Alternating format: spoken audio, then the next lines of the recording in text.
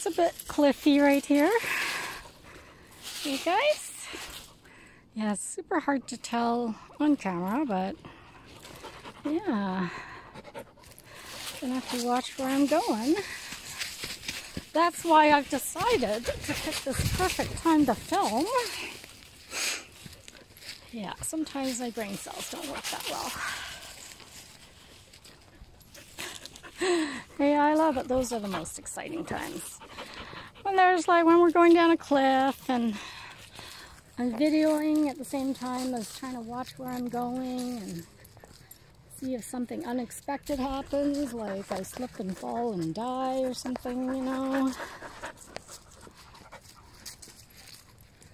Which, you know, obviously isn't going to happen because I've, I've gone that way so many times. done this so many years. Shouldn't happen.